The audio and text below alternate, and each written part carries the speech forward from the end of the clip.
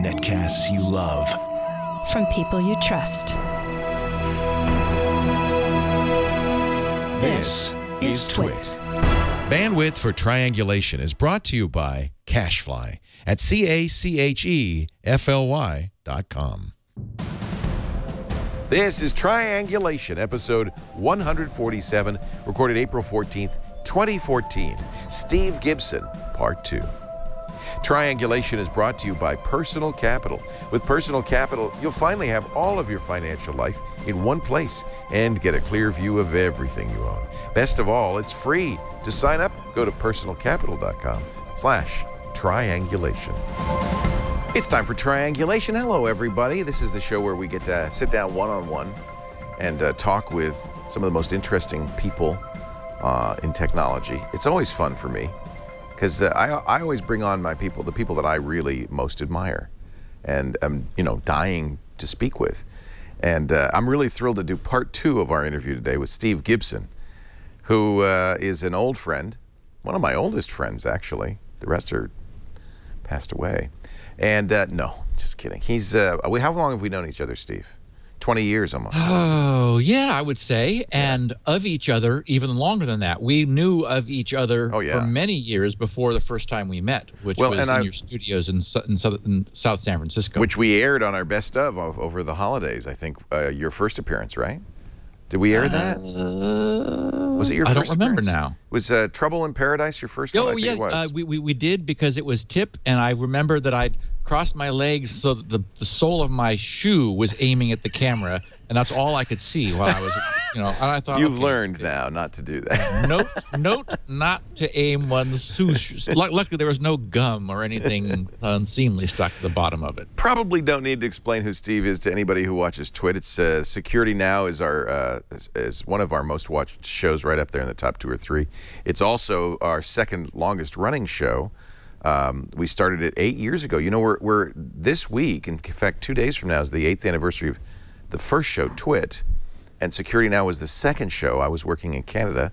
Steve would come up graciously, come up to Toronto to do the uh, the TV show in Toronto, call for help, and uh, I think I pinned you down in Toronto one day and said, "What what about doing a podcast?" And the rest is history, as And. I, I said, "A what cast?" and I remember thinking, "Oh, please don't bring this up again." But it ended up being You- you- fabulous. did you? So see, this is interesting to me because you've said this now, and I and I want to, I want to, I want to get you on record here. You thought this is a bad idea. I don't want to do this. Please don't ask me again. Yeah, I was hoping it was sort of a passing fad or a phase, or you know, like you were you had too much time on your hands. And, oh, how about this? And I, Oh, Leo remember won't thinking, really. Oh no no no no no! Because I don't know what I was doing at the time, but it was like, well, You, were- I, you you know, had stuff to. You always have. This is one of the things that we love about Steve. You're an enthusiast, so you always have something that you're really excited about and you want to get into. Yeah.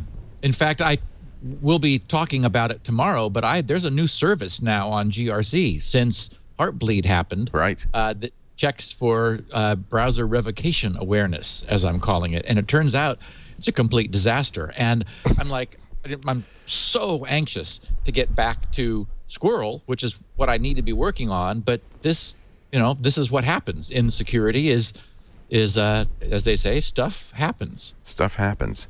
Yeah, so if so- you go to revoked.grc.com, or actually, if you want the explanation, go to grc.com slash revocation, and you can and you can see the whole explanation of this.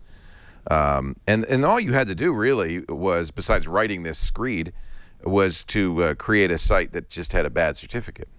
Correct. And what's real, I just, I'm so thankful that I have uh, DigiCert as my certificate authority because I wrote to Todd after you and I did the podcast last Tuesday and said, hey, uh, it, are you are you aware of any place where I could point people to a revoked to a domain with a revoked certificate?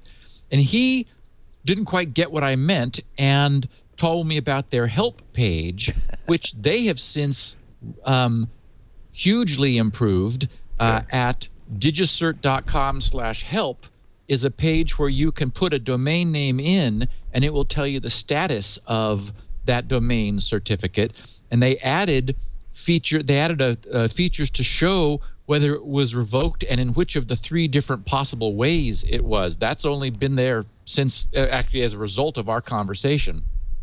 And if you scroll down a little bit, you'll you'll you'll see where it shows. Oh, says no certificates were found for. Well, because we don't do you in. HTTPS on twit.tv. Ah, right. so this so, is you all about like- secure secure servers. So, You've so been for running a secure server for a while now. I will. I have. You can put in Amazon.com for yeah, that example. should that should be secure. they'll definitely well they'll they'll have a certificate and well we should really be talking about this tomorrow but uh, but you'll notice that of the three reasons the OCSP stapling is not available. So they're not offering that feature which is one of the things that we'll be talking about in the, in the reasons why it, it would be uh, it revoked. So but anyway so the, so the point is yeah they worked with me. So I, I i said could i could i like get a certificate and then like buy it and then have you revoke it and then give me my money back. Because you know why do i want to pay for a revoked certificate even though that's actually what i want? Right. and they're so gracious you know todd who i who i work with just he sent me a link to a freebie. He said here's a promotional certificate. Oh. let me know when you want me to cancel it. Oh, anyway he, he he got the idea and then it actually took three because windows just would not let go of the fact that it had ever ever been valid which is another serious problem with the whole deal so we ended up on finally for the third certificate we i had him pre-revoke it he revoked it before windows ever saw it so that it would be revoked from the beginning anyway Well, I'm just saying in uh, I'm I'm surfing to it in uh, Chrome right now. Cannot connect to the real revoked.grc.com. That's what you want to see. Well, and Leo, I was very impressed that you instantly knew that mobile browsers tended not to be checking revocation. Somehow you had that factoid in your brain because you, you mentioned that immediately Hmm. Yeah. during the podcast Yeah. last Tuesday. And that's actually right. Firefox on Android on Android is the only one that checks revocation on Android uh, because it brings its own security suite along with it. It doesn't use the platform's underlying stuff. So Steve, anyway. Steve is, uh, as you can tell, uh, very much into security. Uh, in fact, I think this all started, and we'll get to this, when his uh, own servers were being DDoSed. He discovered the first instances of spyware, wrote the first anti-spyware program, even coined the term spyware, uh, and has really been at the forefront of security since uh, back in the days of Windows XP when you complained about was it XP raw sockets or was yeah, it Vista? I, I would say that I'm into technology, and security is a rich and uh, rich region Right. that needs a lot of help and attention. poorly understood even by technologists and i guess that's really the point is that and that's one of my great frustrations yes is that when you're like in the raw sockets issue i mean i got so much heat people were mad for- at you for raising Oh, this I mean, you know, grcsucks.com was created because, yeah, I mean, and then, then and the, the, the register.co.uk, I, I will never forgive them for, you know, what they put me through because it was deliberate and at my expense. And I was right in the end. Microsoft finally understood when they were attacked with their own raw sockets in their own operating system with the MS blast worm. Right. I mean, the, suddenly they're like, oh oh crap, this is what Gibson meant. yeah And so Service Pack 3 removed, or Service Pack 2 removed raw sockets uh, for all intents and purposes. I had no problem with it being in servers, but it it had no place in a consumer toy operating system with a little dog wagging its tail when you go to search for files, you know, and little you know paper clips bouncing around. So anyway, so does that hurt when people attack you with gc grc sucks and it hurts me Um, you know what because people will send me every once in a while you know and they'll send me a link to this stupid website and it's bull crap and I know. And, and for example, it hurt, it hurt my sister. You know, Nancy ran across that and said, "Why are they saying these things about you? I know these aren't true." I said, Yeah. I, I, "I know." You know, and and what I recognize is that that okay, what I think is, and and I mean, you know, you know, you have faced this too, Leo. I think that when people perceive that somebody is influential, and we don't exactly agree with them, for whatever reason, it's easier to attack us than sort of to cohabitate, you know, to just say, well, okay, opinions differ. And, you know, so, I mean, I'm, it, it upsets me only to the degree that, that people who don't know the truth could be confused by this. There was a really interesting page uh, a couple months ago about the degree to which trolls are hurting the internet, where, for example, a, a, a, someone's blog post where they they really have authority, they have credentials, they know what they're talking about, they make a beautifully well-reasoned case, and and and a typical reader reads that and understands it and says, "Okay, yeah." But then some idiots attack this person. And these are you know anonymous people with no credentials. No one knows. They've got ridiculous handles you know you know they're trolls. We have a name now. exa- exactly. Yeah. I mean thank goodness we have this name now but, because but, we can it's very quickly uh, an easy shorthand to, that lets people know oh i get it. They're trolling you. Well and so what what was so interesting was that this this the the article i'm mentioning did a survey to to study the effect of that behavior. And it was very disturbing that that people were as influenced by the naysayers as they are. I mean in a, a, a fully scientific study was done and it was and they demonstrated that that i mean this was fundamentally damaging the internet because people with no credential no background no history you know just completely anonymous, really did have influence over over people who had invested their life in in acquiring uh, credibility. Well, maybe we've learned a little better now that we've uh, spent more time on the internet because that was that was some time ago. But you're watch this segue. You're no stranger to rejection, Steve. Tell me about your experience with the Boy Scouts. okay, so uh, I, I, should say we there, but this is the second part of a two-part interview, in which in, uh, I was sure that in an hour we would at least get to somewhat modern times. We didn't even come close. We ended, I think, with your ad agency. Um, right. What was it? Gibson and Blather. What was it? Gibson and Gibson and Garnish. Garnish, and there is no garnish. It just sounded good. Yeah. Uh, and, well, uh, it was meant to be like like like an ad agency needs you know photographers yeah. and typesetters. You know, you. you. need little stuff on the side. Yeah. So. Uh, but and so we didn't even get to your InfoWorld articles, which is where I first became aware of you, or anything subsequent to that.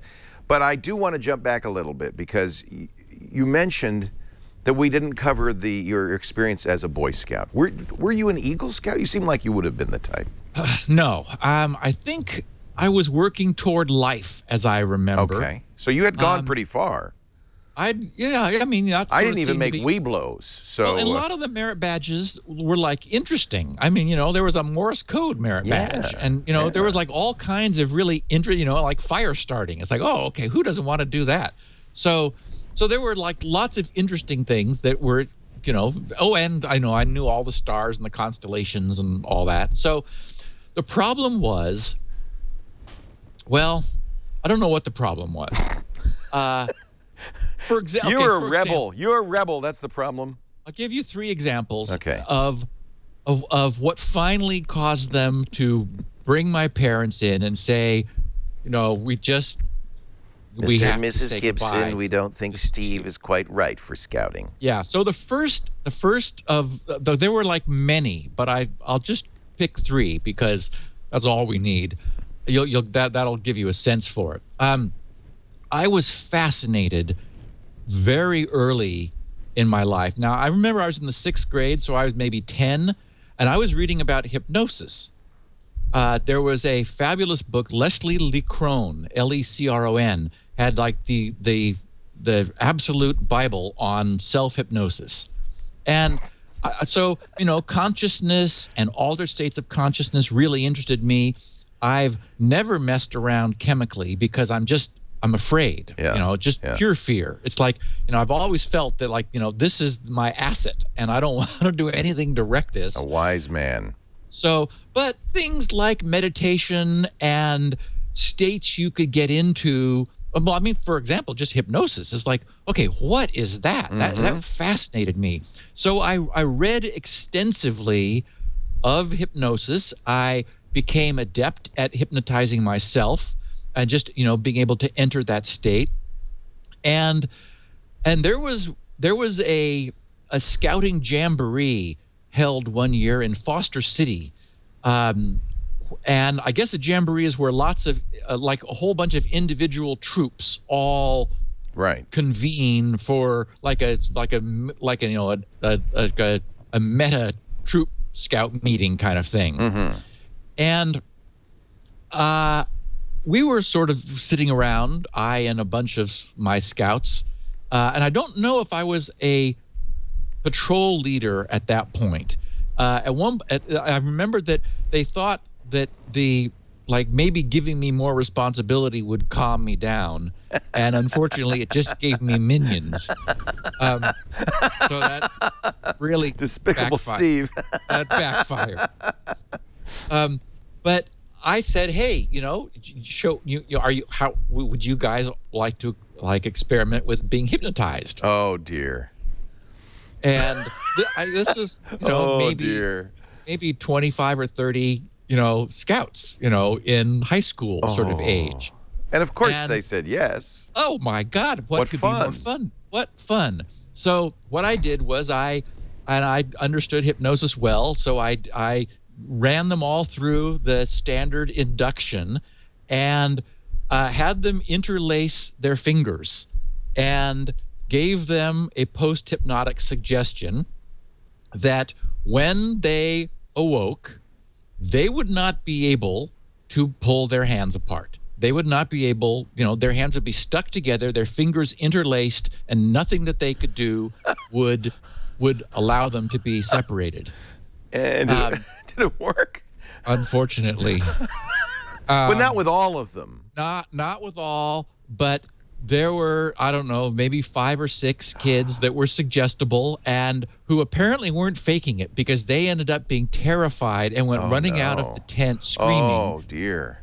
And you you can imagine then that their parents Yeah. got in touch with the scoutmaster Yeah. and said, "What the hell?" It sounds vaguely satanic, actually. It's not. it's not exactly.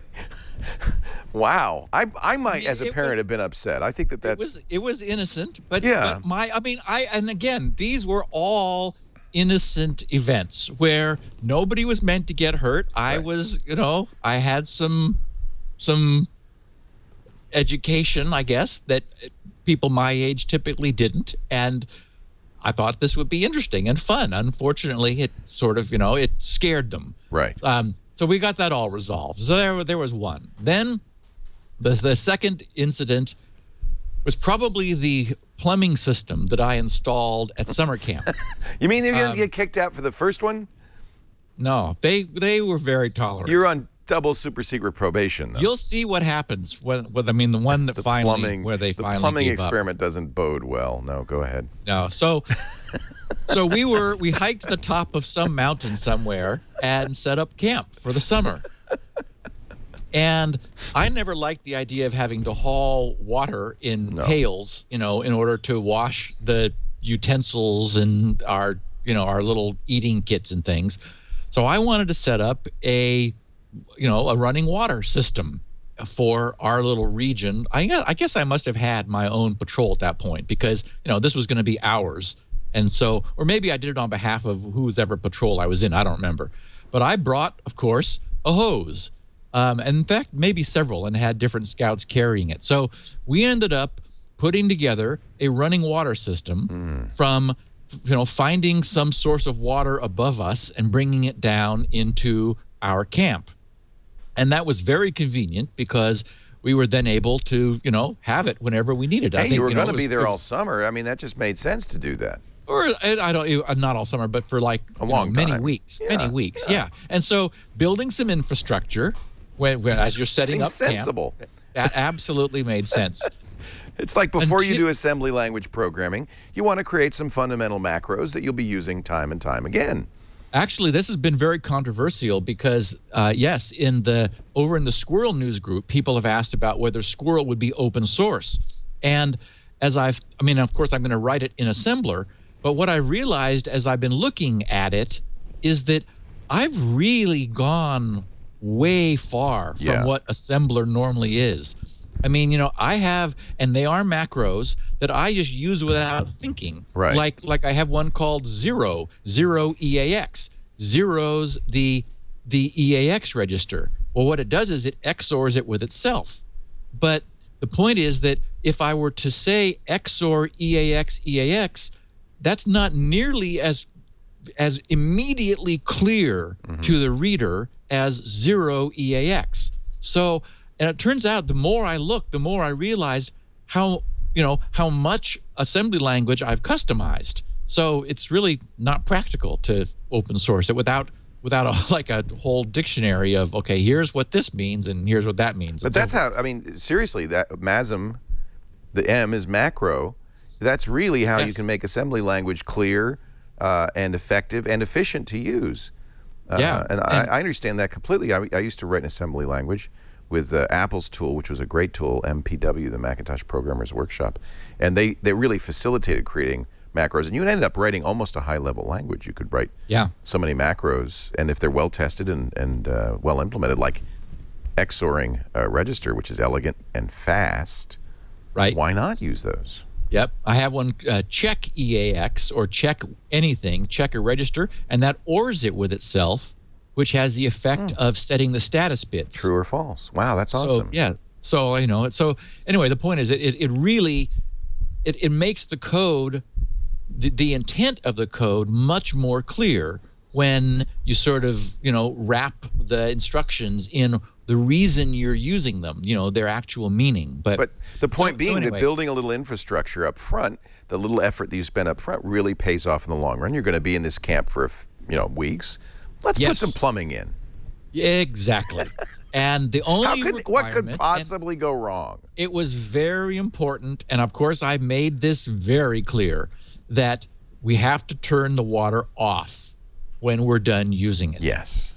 and i don't remember now whether like who was responsible whether the cork came out of the end whether somebody got up late at night i think i kind of remember now that someone got up for a drink of water and then didn't properly you know reseal the cork These things happen. so the, the water was left running Uh-oh. while we were all sleeping. The sump that we had dug filled up mm. and overflowed, mm.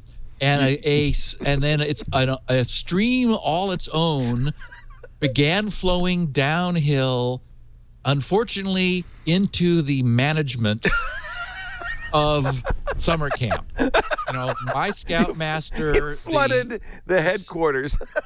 Yes, the assistant scoutmaster, their sleeping bags, oh, their Oh, dear. tents, their clothes, you know, water sopped all of this. You know- so that at some point at like 4 a.m., they woke up freezing and completely soaked, Gibson! not at all happy about. Uh, It was just a design issue, and next iteration, of course, you would have had an automatic off valve. yeah, I, you know, exactly. You just This, can't know, plan for human frailties. Yeah, you know, exactly. So did they they actually threw you out for that? not yet, not yet. Um, No, the, the other time, the final, the, that's the final that's two straw. Okay. The final straw. Yeah. With, and this one was regarded as life threatening, so they couldn't take it. They they couldn't take it Hmm. lying down. Mm-hmm. Um, there uh, we were. We were nearby Northern California, um, over in Half Moon Bay area somewhere, uh, for another, you know, overnight, as we call them, an overnighter, you know, a, a, a- weekend out, and all of the management of of the troop were gathered for a meeting um, and i guess I, I but i think that but the but the the patrol leaders weren't. So i took my patrol off on a little scouting mission. Let's find out what's around. And so off we go into the woods and through the woods and we come out into this cleared area with an abandoned and I want to call it a steamroller, but it didn't run on steam. I mean, it was gas powered, and it, it looked like it hadn't been used for decades. I mean, it was what a great find. oh, it was oh my god! Are you kidding? For us, it was like oh my god, look at this. You know, so we're everyone's immediately crawling all over it. You know, the scouts are all up and down around on it, and you know, it had been like you know, clearly it was dead. Oh yeah. But I thought, you know, hmm. That's the I that's how this all begins with I thought, you know, I I kind of remembered that if oh. you added water to a dried battery that had been dry had, that, that had dried out in a charged state these are these lead acid batteries. it- yeah the old traditional Yeah. car battery the Yeah. big lead acid battery that it would come back and i thought you know let's see if we can like bring this beast back to life so several scouts volunteered the contents of their canteen. We we emptied canteens into the car battery and and i'm not kidding you you know we like you know found the start button. I think maybe we had to hot wire something. There probably was some you know and we really weren't equipped to do this but you know we had paper clips and various things. So one way or another this thing began to come back to life and it didn't turn over immediately but you know the battery did get revived. The engine began to try to start.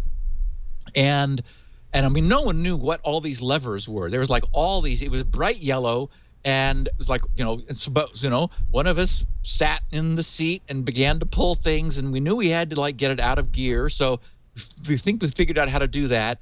And this thing i mean went I can't how this I can't I can't believe it. and you know and actually got started you know huge billows of black smoke coming out of the exhaust pipe up in the air now i heard afterwards from a friend of mine who i think was the quartermaster who was in this meeting that like they they were all around this table in the tent you know the the troop leader and the assistant scoutmaster and the quartermaster and the scribe and so forth and they hear in this distance this and somebody looks up they all kind of like look up and someone says gibson and Of course. Who else? Who else? so here was the problem was that we, we I had my scouts all over i mean of course we were all going to take a ride right? So everybody was up on this thing and now it was like okay wh- which levers to push to and pedals and things and i'm sort of try i think i was probably at this point in the you know in the seat working out how to make it go and all the scouts were you know had found sitting positions on this thing because we were going to go take it for a ride. And and i'm like beginning to get this thing moving. Meanwhile the, the way the the way the land was um in order like from where the where the the camp was the the scoutmaster and his assistant and the rest who were in this meeting who'd figured out the, ultimately the fundamental cause of this this noise went running into this clearing now, where they, where, where they were was far away from this steamroller, and they were looking at it from its side. So, what they see is this thing beginning to move and scouts jumping oh, off of it. oh, oh, this And- can't get any worse. I oh. know. I know. Which, again, not anything that I planned. No, but- who thought that would start up? I mean, you just wanted to see if you, you know, get the battery. Oh my God! It was prehistoric. I mean, it was it couldn't ha- ever have operated, but you did. know, it did. You know, give it, you know, just rehydrate the battery and get you know and pull the right levers.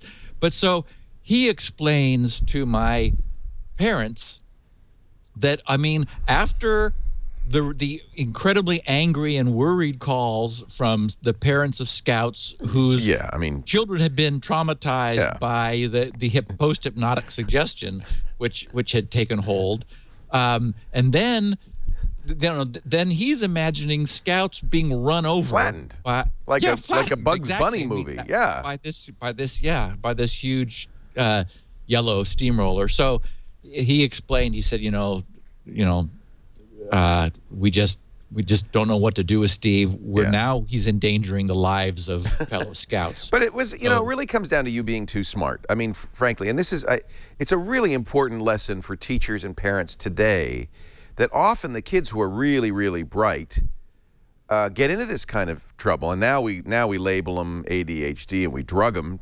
Uh, but uh, this is what happens. You're you have a, a questing mind. Yeah, and I mean, I was going to keep myself busy all the time and figure out, you know, I mean, it's like, wait, I mean, this presented an incredible opportunity. Sure. So, of course, we took it. And kids, you know, don't. Uh, what they're missing is that part of the brain that says, you know, maybe this isn't Yes. a good idea. Yes, Maybe- yes. maybe, maybe something could go wrong. Right. But Yeah. that's good. We don't want we don't want young people to have that. Uh, as long as they don't squish other young people, they don't want them to have that.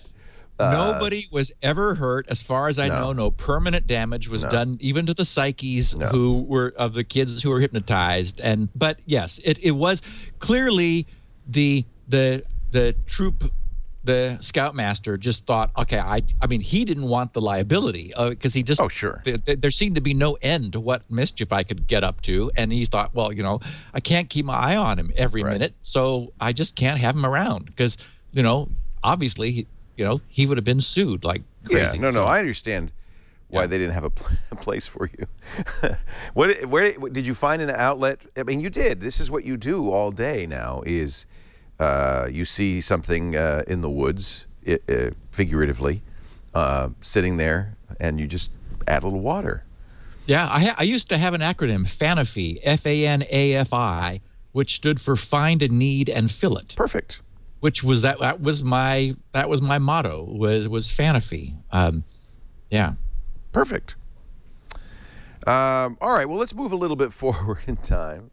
I'm glad you told that story. I didn't. I, you know, I've known, as I said, I've known Steve for a long, long time, and I never heard that story before. So there's obviously a lot of depth to mine. One of the things, and don't let me forget before the show's over, I've got to get a tour of that bookshelf behind you. And I know people are always asking about your blinking lights over your uh, left shoulder there, but there's other stuff in there that I'm just curious about.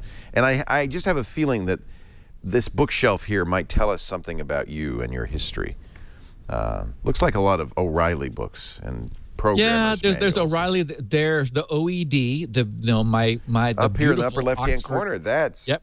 The the entire multi-volume Oxford English Dictionary, which is just fabulous when that's what you want. The problem is we really are moving past books in the same way that we're moving past discs, for example, you know, DVDs and Blu-ray, and I'm I'm having to recognize. In fact, I really think I've stopped acquiring books because everything's now online or you know electronic or on the web. So you know, but for history, and actually, when I was, what was I doing? It was, I guess it was when I was working on SpinRite. Um, I, I needed to do some work with the VGA screen, and there was nothing available. So I went back to my original texts on, you know, the VGA adapter, the the video graphics adapter for the IBM PC, and you know, I had the texts that had all the information, which is really beginning to disappear because it was it predated the internet. I like somebody told me, and I think this is true. I think it was on a triangulation episode that uh, as that books are as affordable now as they will ever be in the future because they, as a more and more scarce resource, they will become more and more precious. For instance, that OED, and I have the exact same full set of OED Yep. in my office, and I love it. I rarely refer to it, but I, I, there's something about it. It's a, it really is a precious object. And it was Kevin Kelly. That's right. It was Kevin Kelly on Triangulation. Um, I think books are not going to go away. They are going to become more and more precious. And they Well- really are a wonderful way to, to store human information. When hard drives, zip drives, orb drives, uh, and Uh-huh. whatever storage mechanism known to man eventually, you know, goes away, we don't have a reader, we'll always be able to read those pieces of paper. That's the problem with the with the uh, time capsule is you put media in given you know in a current contemporary format and in a hundred years you know it's like well, what's usb well you know what Right. how, how do, what do i plug that into And I got to tell you, the OED, I guess, is probably online on a website, but that ain't the same thing. no Being able to No, pull that and- volume down, it's so beautiful. Um, I do smells so have, for example, the leather bound volume, the very first David Weber Honor Harrington book has been republished in a leather bound volume. Fun. Which which I got just just to have it, just Well- because, you know, And that's It's interesting because those are the books I still buy. Uh, For instance, I just bought the um, the complete collection of Calvin and Hobbes, and it's in a beautiful Hmm. box set. And it was because I realized, first of all, you know, he only Bill Watterson only wrote for ten years. There's no new Calvin and Hobbes, and that was a wonderful thing, not just for me but for my kids. And I just think it's a it's something I wanted to preserve. So how do you preserve it? You don't put it on a hard drive or a floppy or a CD. You buy the box set, and then you have it on the shelf. Yeah, There's and you know. I'm I'm collecting the documentation for the original mini computers. I've got the manuals and Is the that what's uh, details. over here over your left shoulder? I see an Apple logo, and it looks like manuals there. What is? That's right, below, but below your PDPs. Tell us about these PDPs first of all. Well, the um, as I think I mentioned during part one, uh, the, a job at this company, Technica Education Corporation, when I was in high school, was um, oh, in fact, there is another fun anecdote um, about how I got how I got We're into never the gonna AI we're never gonna I- get how- your 30s, Steve. the way I got myself into the AI lab at Stanford was uh, by doing some coding that blew them away. But really? uh, well, that's yeah. cool. Um, so uh, the the first machine I saw was this PDP-8, and that was the first machine language I learned, and and it was you, Leo, who's actually I- indirectly responsible for this. You on something you were doing, you held up a plane of core memory, and this was probably I don't know seven or eight years ago, and it's like core memory. Oh, I have to have some. And I mean, and the way I am, I would actually love someday bringing core back to life. I mean, like just given the the actual plane of core, designing all the electronics. Because remember, I'm fundamentally a hardware guy back in the old days, uh, and wiring up and you know actually reversing the direction of char- of of, magneti- of magnetism in the individual cores. I just think that'd be fascinating and like you know watch the hysteresis function and the sense wire pick up a pulse when the when when the magnetization reverses. Uh, I just I I don't know. So anyway, but the point was that that's you and my quest for core got me into eBay, and then I thought, wait, what about PDP-8s? So Here's, by the I way, got- I just want to show this. This is a core memory chip. And so if you look at it, and if you look at it closely, this is from Wikipedia, there are Yeah. little magnetic donuts, yep, rings. and and they are connected by wires going horizontally and vertically and diagonally. and diagonally. And the way they are both written to and read is by sending a current through the appropriate wire. Right. The, it, it turns out that there there's a property in a magnetic material called hysteresis where it, there's like a an avalanche effect. You can if you if you run a if you run a a wire through it and that wire conducts current, that will generate a magnetic field around the wire. But but that's not enough of a field to cause the core to switch its magnetization.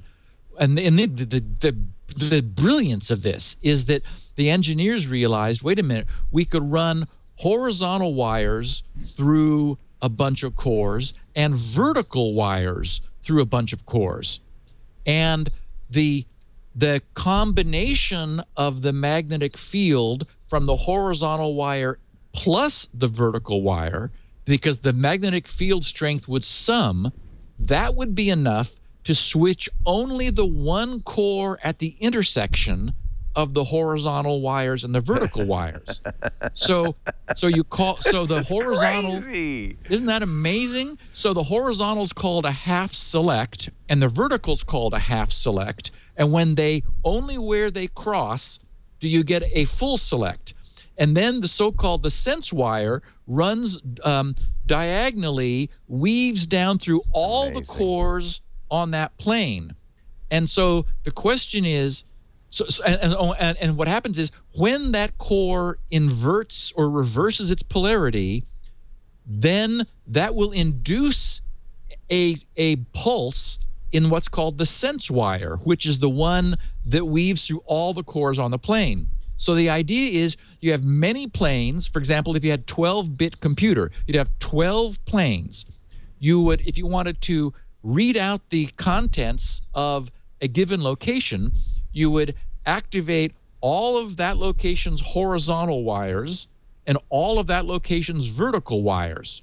Where they intersect, those cores would all be written, for example, to zero, that is in the zero direction. And what would happen is only the cores that had been a one would induce a pulse in that plane's sense wire, and that would tell the memory what had been stored there. But notice that in the process, you've just destroyed what was stored there. Thus, it's called destructive read mm-hmm. because it, it destroys the contents of the memory to read it. So then you'd have to, so in, in, in the logic, you'd have to rewrite the contents with with what you originally had, or in the fancy computers, they would see whether that was being used, for example, for an addition. And if the memory address was the destination of the addition, they'd read it out, perform the addition, and then rewrite the updated contents. So, oh, I mean, this, th- we're just sort of, we're so far removed from the fundamentals of of technology. And I guess that's one of the things that that I really love is I, I just want to say before you do that, this was still in use in 1975. This is not. This looks medieval. it is not, and these had to be made by hand. These are kind of a, a machine, electronic, and machinery at the same time, and of course the amount of storage. That one we were looking at was 1K because it had 30. It was 32 by 32. It, it, this is 1K. No wonder memory was so expensive. Yeah, well, and it's funny too because we we take it we take memory for granted. Yeah. But when you think about it, if you were a caveman, how would you remember something? I mean, you know, you put rocks in little pits or something. I mean, you you know, you somehow you create state, and you know, which is memory, and but in Or in write on a page, or writing on a page. Right. And, and the, the the solution before this was a relay. You would have a relay whose contacts being closed would keep that the co- the relay coil energized. So because it was on, it would stay on, and if it was ever off, it would stay off. And those were so- noisy ass machines. Oh my lord! and so slow. Yeah. Because now you know we're, we're you we have we have a a, a, a me- mechanical flap that is going up and down. Right. And so you know you're very patient when you when you ask that to do something. So if you if you think about uh, what the storage is in your modern computer, uh, 16 gigabytes, that uh, 16 billion bytes. So what is that? Uh, 160 million of these chips would be. I mean, it just it's mind boggling. And, Well- and what is what's the thing is that I don't think people really understand that that uh, what we've seen happen. That was 40 years ago. In 40 years, what we've seen is mind boggling. Yeah. Yeah. So you love, you were saying, I'm sorry, I interrupted you. I was going to say I, I think I love technology and I and I love the details. So that's that's why security is interesting. And I mean it's it's what we do on the Security Now podcast is, you know, I just don't want to wave my hands and say, "Oh, look, you know, a miracle happened." I want to say, "Okay, wait a minute. Let's we can understand this miracle. We we can understand exactly what it was that Heartbleed did that caused the problem. And, and and for me, that's what's interesting is you know getting down to the, to the details. so these PDPs, you got excited about core memory. And so, that got you on a quest to buy some. so By the way, yeah, did you so ever that- get any? Oh yeah, I've got, oh, got it coming out my ears now. It's uh so I have got eights and elevens Oh, and uh, PDP eights, PDP elevens of, of various of Now, they didn't use numbers. core memory though. They used chips, didn't they? Oh no, no, they were they were still back in the core era. I've You're got kidding. PDP 11 core and PDP 8 core. Now, a 12-bit machine can only access 4096 words of memory. Hmm. So, even then they were having this problem that we've we've addressed after you know much much later remember when expanded memory and extended memory and all the kludges that we had to come up with because 16 bits only gave us 64k and we needed more than that. Right. um, and actually the the intel had had an additional four bits 20 bits so you go up to a megabyte. But even back in the pdp-8 era there was this notion of banks of 4k by adding three extension bits. So the most you could ever access was 32k words of memory um, back then but but even then we were like the the, the, the bit size was was causing us problems with the kind of with the things we wanted to do with these computers. Here's a here's a guy who's built a relay computer. I wonder if we're going to hear this And I, I operate. my code I've seen that. It's very and I neat. see what that particular byte should be. And then I So that you're not alone, Steve, in this like bizarre and then it goes on to the fascination. I want to hear this thing operate. We're going to take a break and come back with more. Steve Gibson is our guest, the host of Security Now, uh, the man at grc.com, and uh, and uh, really uh, one of the most interesting guys I know. I, I want to hear this. And select it. Let's see if we get him to You have a run this program that he's entering. That is a relay computer. And that's a little tiny, not doing much relay computer. Imagine a big room full of that going as fast as its little relays can run. And in fact, if you, I, one of our listeners knew of the plastic computer that I referred to in part one of this.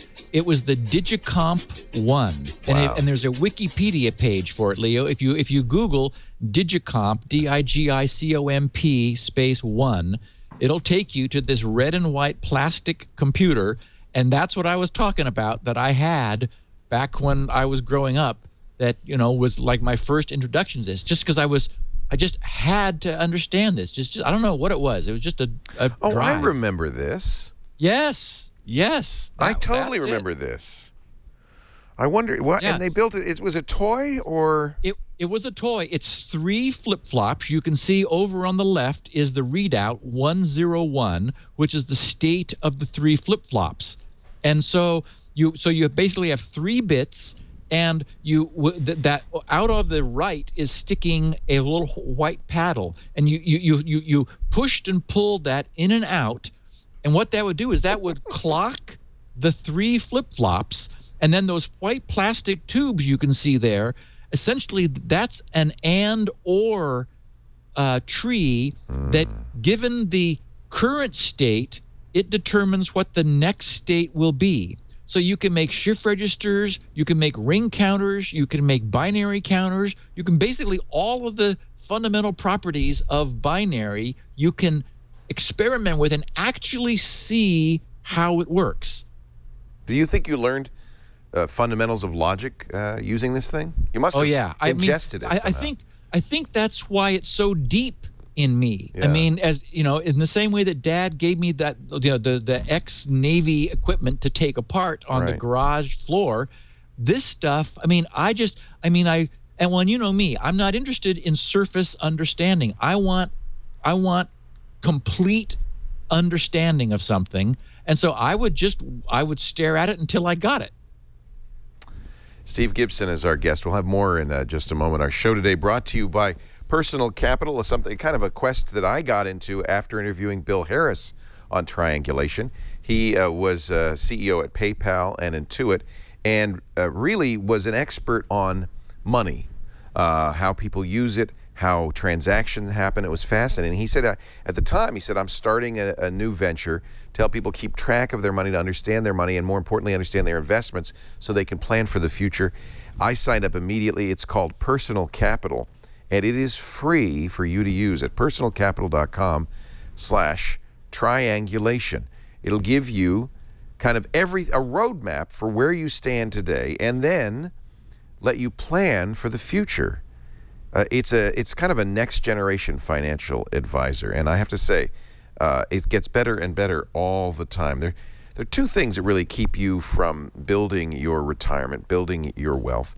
Uh, one is just knowing where everything is. They're all in you know different accounts with different passwords. Your credit cards, your investments, your home, your mortgage, your uh, your uh, bank accounts. They're always spread out everywhere, so it's hard to get one picture. That's what the first thing that you get with personal capital is is these beautiful real-time charts of exactly what's going on, your net worth, where your cash is going, what your investments are doing. You get information about the market and how it's doing, and you can see where you're spending too much money, where your fees are too high, or your, your you know your the the investments are costing you too much in, in brokerage fees and they can save you money, giving you tailored advice to exactly what you need to build your portfolio, to build your wealth.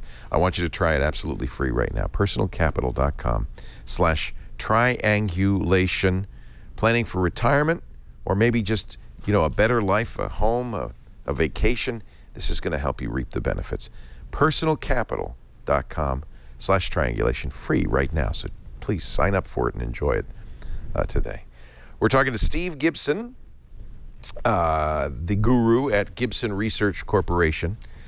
Um, so let's move. So, uh, uh, did you tell us a story about the, how you got into the artificial intelligence lab at Stanford, or did did we finish that? No. Um, what Let's happened was um, I, I was in high school, and this was my junior year, and some guy, uh, actually his name is Mark Duncan, uh, was a fellow nerd and geek, and he comes to school one day and says that he just walked in to the AI lab at Stanford University.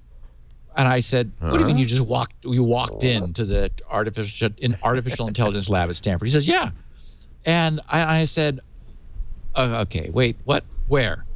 And he says, "Oh, it's off Page Mill Road, uh, sort of off in the boonies on the other side of the 280, up in the hills." And so I thought, okay, I, I have to go check this out.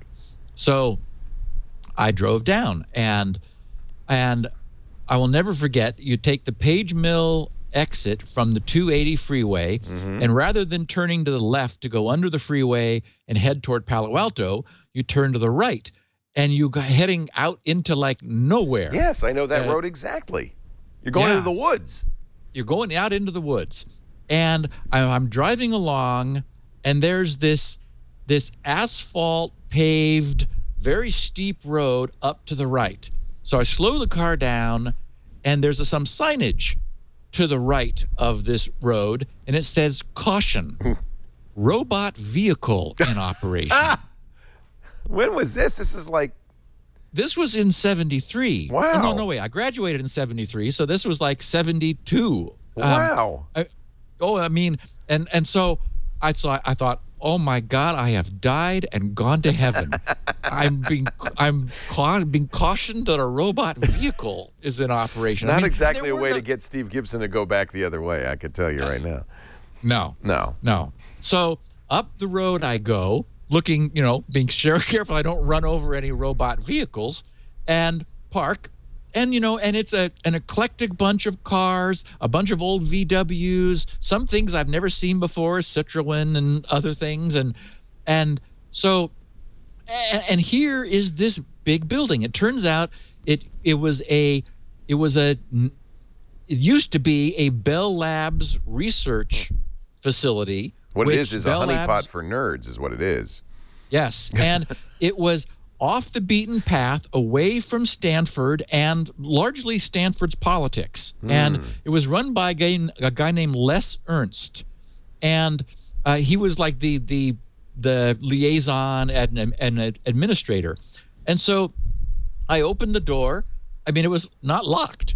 And walk in, and there's nobody at the reception desk. This was probably in the late afternoon after school. And so I'm just sort of wandering around and, you know, and I'm seeing like, like computers I've never seen before. And, and uh, there's a huge PDP-10 and and across from it facing it a PDP-6 installation and just I, I'm just like I again I'm just stunned you know I I at that point I I guess a year before was the whole Technica experience so I had you know I knew how to program um, but nothing like this so I'm just sort of trying to be invisible because I don't want anyone to kick me out. And just sort of looking over people's shoulders at what they're doing. And I'm seeing 3D models rotating on screens and and a a fiber optic light pen. There were we had this thing called the triple I displays. I don't remember what it stood for. Inter, like Information International Inc. or something, which were vector scopes where X Y Z uh, X Y and Z coax was coming from some interface card in the next room and and drawing the the images on the screen these were not raster scan displays they were vector scopes and so the you had a light pen that knew you know where the where where the image was and here's another sort of interesting thing where i talked about how my the the job i had out of college was disk controllers and now i've ended up with spinrite well similarly this was an early exposure to a type of light pen. And then, you know, years later, I built and designed, and my first company I had for myself was Gibson Laboratories, where I did the LPS2, the light pen system for the Apple II. So a lot of this early exposure came around. Well, so I think I hung out there for maybe a week uh, you know, staying as long as I could, going home, coming back, until finally I came to the attention, unfortunately, of management. And this guy, Lester Earnest, said, uh, Who do you belong to? was the exact phrase. Who do you belong to? And I not the Boy Scouts. what he meant. no. Here he is on his tricycle. wow, this guy sounds really cool. This is great. Oh, Lester? Yeah, somebody found his bio. Yeah. Uh, and uh, apparently he uh, he has. Uh, I, I, wish I could get a bigger a bigger picture of it, but uh, that looks a lot like my trike. I like this yep. guy. Oh, he. I mean, oh, I mean, the guy. The whole place was sandals. They, uh, you know, we, we had vending machines full of that green fluorescent stuff. Uh, uh, I can't remember what it's called. Uh, with all the caffeine in it. Mountain Dew. Mountain Dew. I didn't yes. know it was a food stuff at first. I, I, I thought of something out and, of Ghostbusters. And and all this food available on the honor system where you just put Uh. money into the in into the dish if you take some food. It so it shows what the price Oh, was and that's just you know That's pay cool. it back. Bunch and, of and hippies is what it they was. have That's vol- what- yes, vol- Yeah. a volleyball court outside and volleyball tournaments and How so I mean it was. You was found an- heaven. oh my God! It was Nirvana, Leo. Yeah, Nerdvana. And so Le- yeah. so Lester says, you know, who do you belong to? Oh, and and I mean, Whit Diffie was there. You're you know, kidding. invent- Whitfield Diffie, the creator of Diffie-Hellman. yes, inventing public key crypto. They were like, I was listening to these conversations in in '72 Oh, while this was happening. Oh, that's so cool. Um, and John McCarthy was there. Uh, he, he was on loan from MIT. creator of um, Lisp and and, in the father of uh, artificial intelligence. Yeah. And there was an IMP. We had an IMP, the The interface message processor. First internet uh, computer, right? Yeah, dar- back in the DARPA days, this was where this was all coming together. Wow. So, so anyway, Lester says, "Who do you belong to?" And I said, "Uh, nobody." And he says, "Well, you just can't be here." You can't just walk in. And I, he said, "You know, this is this is for PhDs uh, and and you know post grads and post docs to do research." And I said, "Well, but I can I can solve problems." And he said, "Oh," and I and I said, "You know, like anything." And so something about my manner, I guess, tickled his fancy. So he said, Well, you know, come back and talk to me. So I sat in his office and talked to him for a while. And I just was irrepressible. I refused so to accept the idea that I wasn't the equal of any of these people. Although, I mean, I was, you know, cr- baby steps. So he he so he sort of said, okay. He said, um, I'll give you a problem. He said, and, and it happens to be Bell Labs, although this I don't think it related to the fact that they were in their building. He said, uh, Bell Labs, or I think may, he may have said AT and T, has asked us to come up with an algorithm for the picture phone that would track people moving around the room. That's that's what you need to solve. Whoa. And I just like lit up. It's like, oh my God. So he says, now come with me into the documentation. So we go into the documentation room. That- they you know, I first let me. This is exactly why I love this business because it's it's a pure meritocracy. A teenager can walk in the door, and a man with Les Earnest stature can say, "Well, solve a problem. Let's see what you can Let's do. see what you can do." Didn't turn you away. Didn't say, "Come back, kid, when you when you're ready." He said, "Well, all right." Yeah, so he gives me this this one inch thick, uh, uh, bound with those brass uh, dealies where you where you where you push them through the holes and then splay them on the on, on the backside. Yeah, brads. Yeah. Yeah, um, and it had a picture of like I think was the Merrimack the first submarine. The mo- yeah, it Um, was a uh, ironclad in the Civil War. Yeah. The Monitor and the Yeah. Yeah. Yeah, yeah, so that was on the cover. I never knew why, but it said SAIL, Stanford Artificial. Intelligence Language. By the way, it's still around. Sail is still Yeah. around. Yeah. And so this was the language, which was a hybrid between Pascal and Lisp. They, they'd done their own language and had their own compiler. And then he said, okay, now you're going to need a reference manual for the hand eye table. It's like, oh my God. Because they had, of course, artificial arms and cameras.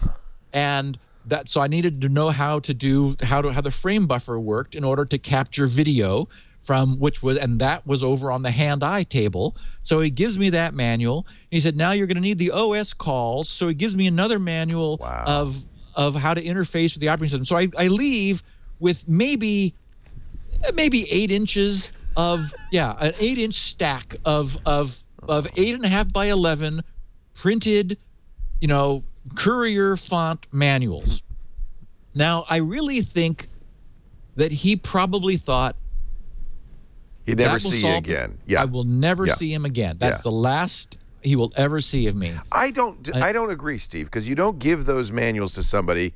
It's like, that would be throwing them out. Yeah. He no. I Yeah. think I, I think he knew you would. He, he at least had some faith that you would do something with these. Otherwise, why give them to you? So I start the, for the next several days at school. I was looking at people oddly because I was like, You've okay, been up all night. I well, not only was up all night, but it's like, okay, wait, what is it about a oh. head?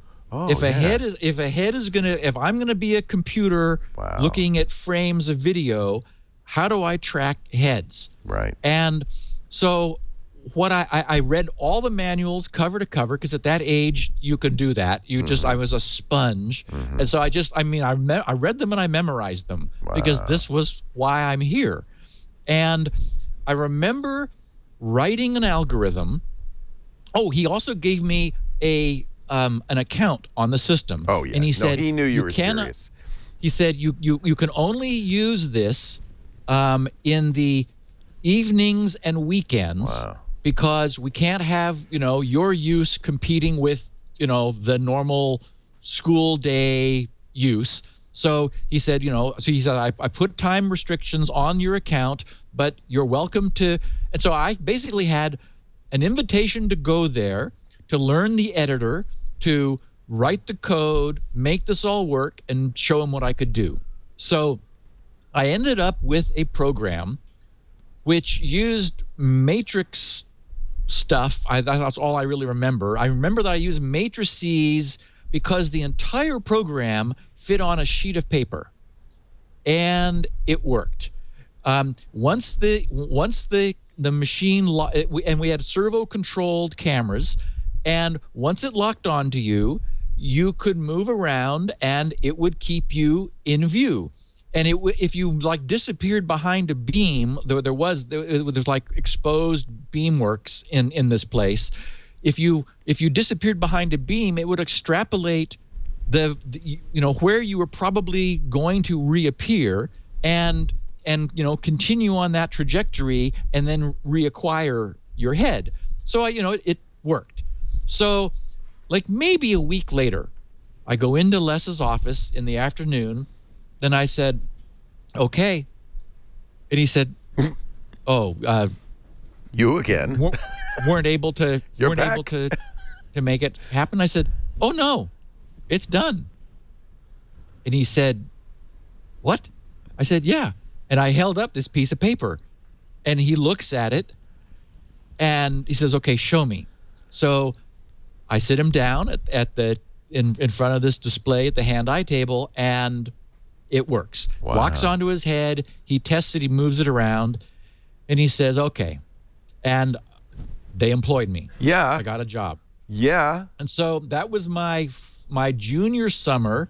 I worked there all summer as my summer job, and in fact, it was there. It was er, that earned me the money to purchase the HP 35 calculator, which I then had as a senior in high school. I can't tell you how much of Silicon Valley was motivated by how do I make enough money to buy an HP 35C?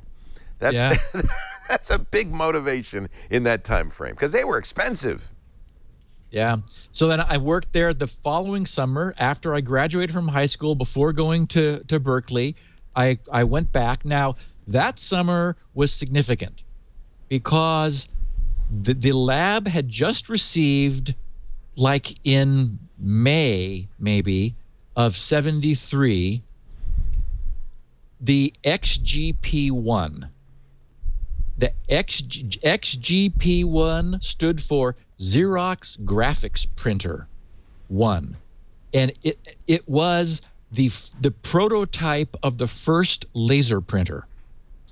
And it was a big thing, but I mean, and what we had then, I mean, you know, we we had a chattering a, a chattering standard wide carriage continuous form printer on the PDP 10 and PDP 6.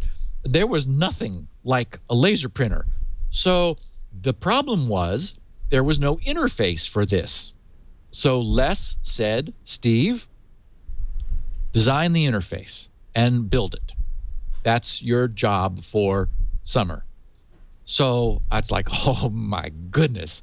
So back into the PDP 10, you know, bus interface manuals, this the documentation that was in prototype form from Xerox. Oh, and PARC was just down the way. So that's where this came from. This came from Xerox PARC. And of course, PARC um, and the AI lab, they were exchanging people back and forth and also, you know, collaborating. And so they had one of these and they said they made one available to the AI lab. It's like, here, stick this on your 10. So um, I spent the whatever it was, two or three months designing the interface and then wire wrapping it. And that was the technology we had for like, you know, prototypes of things. You push, you have we had we had a back plane of connectors and individual cards that where you would push sockets through and the sockets had square pegs and you then then then you would take this wire wrap gun which which tightly wrapped a wire around the square peg. And the idea was that those they were actually gas tight connections counterintuitive as it seems incredibly reliable as long as they're done right. And then the other end of the wire goes to a different pin where you again you know go and and and, and this thing wraps the wire around the pin.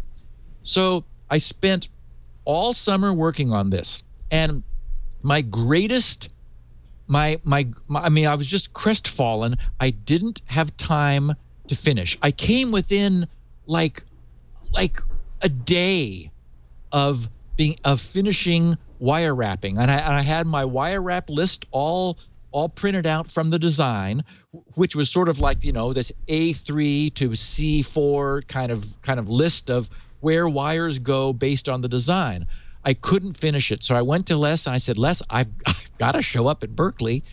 I'm almost done. So he says, That's okay. He says, I'll finish it. and so he took it on Wow. as, you know, like in, in a day, he finished it. And and I remember, I'm not sure when it was. It might have been like the first vacation from college. I gave him a call and I said, Hey, um, it's me. Do you have any work?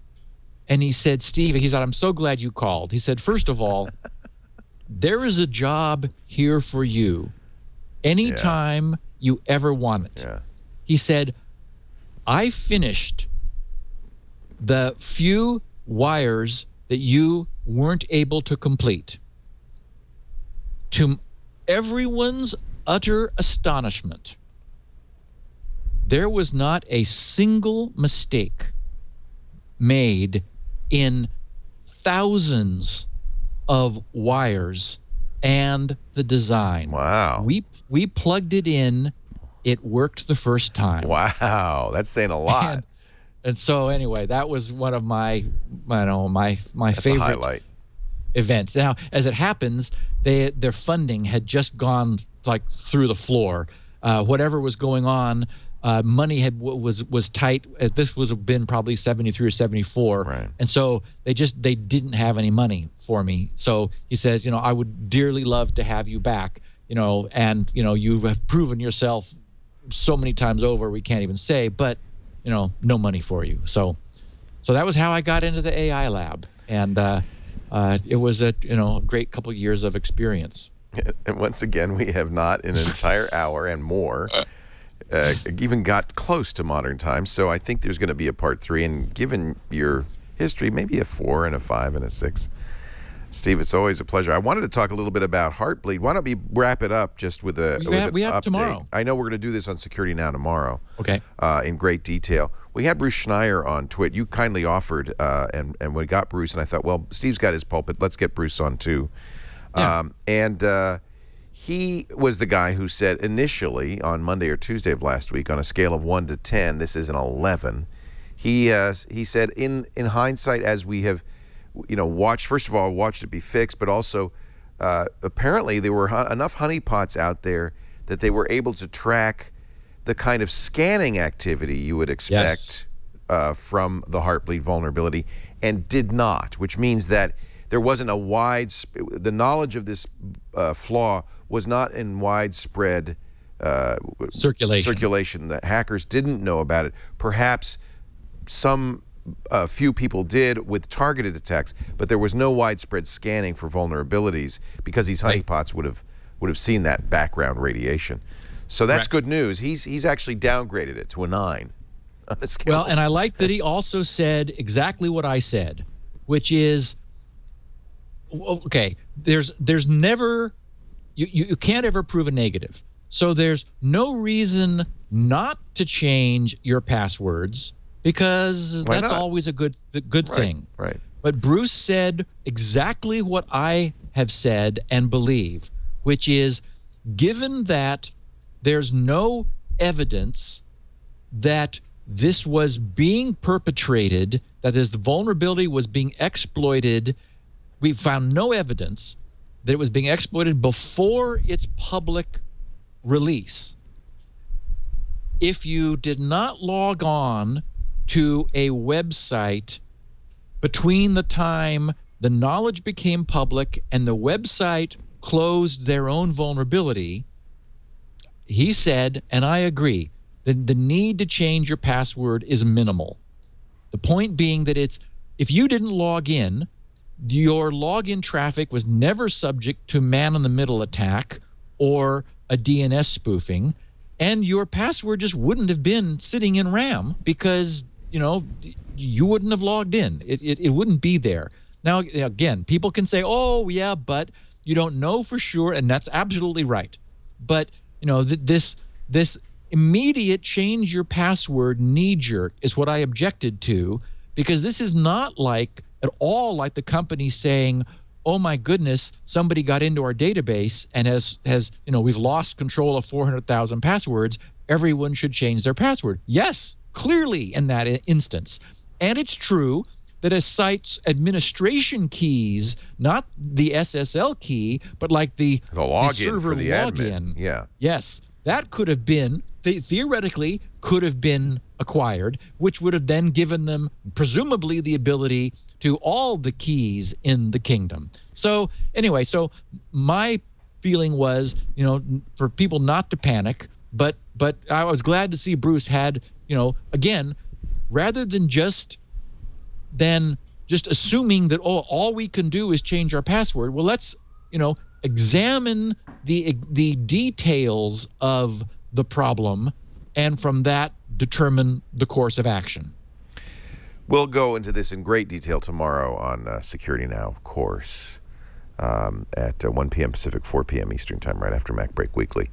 Um, but that's the good news. And, you know, I did um, just kind of an ad hoc quick tour of LastPass for people. oh it's I, great I know We- people we are a little- definitely let people know Yeah, I know people are a little kind of uh, intimidated, but this is such a good excuse to get LastPass, to install it on all your systems, and just Yep. you know, over time, no hurry, no huge rush, but over time, to replace passwords that are duplicate, you know, multiple sites, uh, to make all your passwords long and totally random, and to do it with LastPass, let LastPass generate them, store them in LastPass, because that's just, in the long run, that's a good thing. It's also a great, a great reason to go turn on double or two-factor authentication uh, on every site that allows it. And I'm, it's really nice. So many sites now support it uh, that it, it really is becoming. It makes me feel better. I, it, I I did change bank passwords and Google passwords, even though I have two-factor authentication on them, just because, you know, it, it just makes you feel better. Makes you feel a little Well, more and secure. the, the other thing too, I, I guess this is another reason to revisit LastPass because boy, they uh, continue to add really it. useful features. Yeah. it's got so many really fun features. Yeah, and th- and they they had a great security audit, which helped me determine which sites were not yet fixed, for instance. Um, so they really they and and and you pointed this out uh, last week because of their trust no one policies. Even though they were using the corrupt OpenSSL library, Right, it right. did, nobody lost anything as a result. I'm going to ask you We about that tomorrow because I want to understand Yep. a little bit better why Yep, that. we w- we give them no secret to keep, Right. and that's the key. And I, I uh, you also pointed out in, in your walkthrough, for example, they won't allow you to log in from Norway if you turn that off. Yeah, isn't it funny So- that Norway's one of this countries? Yeah. I, am not sure why that's in there, but yeah, you could just say only logins allowed from the United States. No more Yeah. mobile devices unless I explicitly allow them by unique identifier. Um, just all the things that they do, the credit check, all this stuff, insanely valuable. So um, Yep. I wish they're not a sponsor. People, I'm not getting any money from LastPass. We just we just think it's a great choice, and uh, there Yes, are others. and it's not that there aren't others. Oh, there's there RoboForm are people. and there's 1Password. yeah, there's lots of people are uh, they're always asking me about the others, but the problem is my time is obviously very limited, and LastPass is the one I have fully vetted and understand, and and they they really helped me, but through documentation and setting up some test sites to verify what they were doing. So it's like, well, and, and as you said on on your walkthrough. Yes, there are others, but this does everything, everything you Yeah. need. I can't think of anything it doesn't do. Yeah. Um, anyway, thank you, Steve Gibson, once again. Uh, just part two of a multi-part saga. I think we're gonna have to release this as a DVD set, a, a box set, uh, because there's just it's so fascinating, and we haven't even come to the InfoWorld column. The founding of GRC, the creation of SpinRite, the discovery of spyware, all of this other stuff that we can go on with, and we will. We will have yeah, you back. SpinRite was born because an ex girlfriend's hard drive crashed. So that's the difference. There's a We'll- story we'll- there, I'm we'll- sure. We'll cover that. Steve, thanks for joining us, and we'll see you next Thanks, time. Leo. Please, everybody, join us every week. We are now at a new time. Remember, 11 a.m. Pacific, that's 2 p.m. Eastern, 1800 UTC, Monday for triangulation. Always the best minds. If you didn't hear our Jeff Hawkins interview last week, another great show. Michio Kaku, the inventor of string theory, the week before that. Steve, the week before that, part one. There's been a lot of great episodes lately. Please, you can get every episode going all the way back, more than 100 episodes at twit.tv slash TRI, audio and video. But my suggestion is subscribe. That way you'll make sure you don't miss an episode. Uh, Carson, do we have next week booked or? Vint Cerf is coming back for next week.